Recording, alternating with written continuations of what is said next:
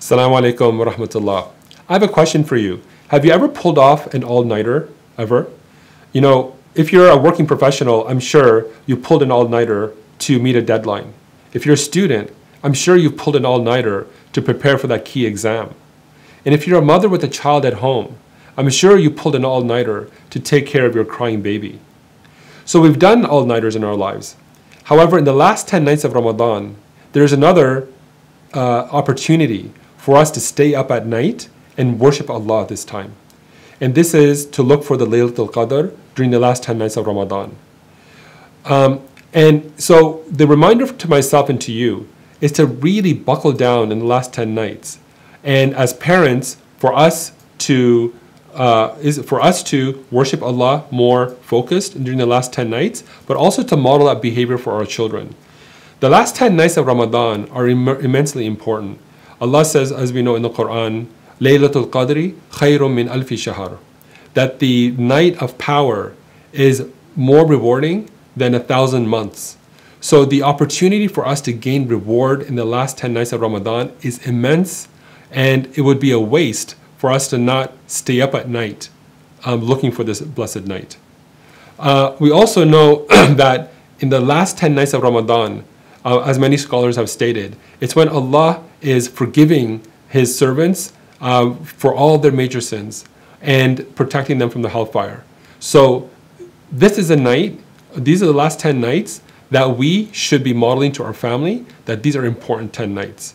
Um, so, we should stay up. We should stay up as much as we can and engage in the worship of Allah subhanahu wa ta'ala.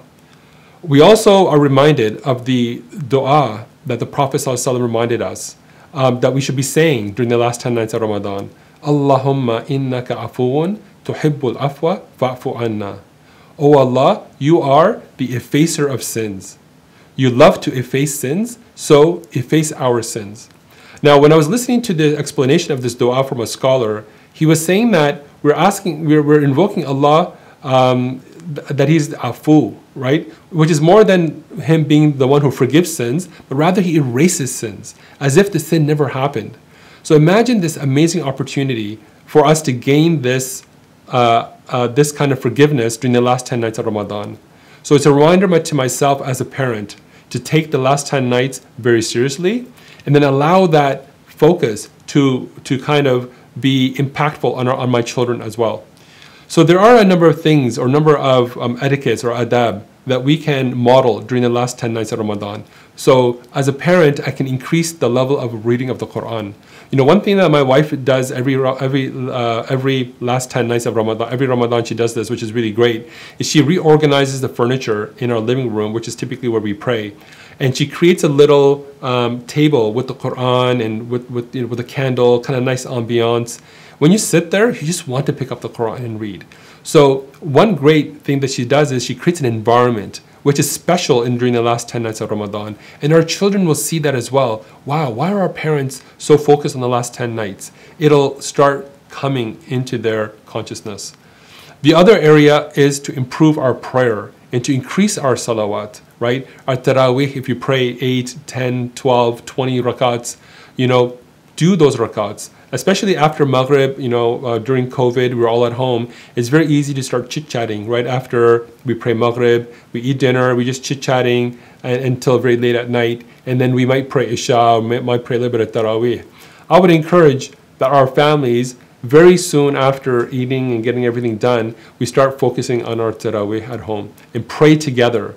We pray together as a family, then your children will also be involved in that, inshallah.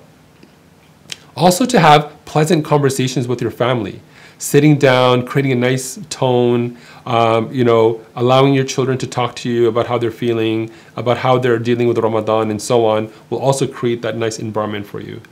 So uh, this is a reminder to myself and to you as well that as parents, let's model the importance the last, of the last 10 nights of Ramadan to our families by, um, by, by being together, by doing some praying together, especially during COVID.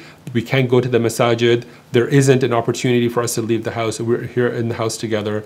So take that opportunity to, to be together and to worship together, inshallah. Jazakallah khair. Assalamu alaikum.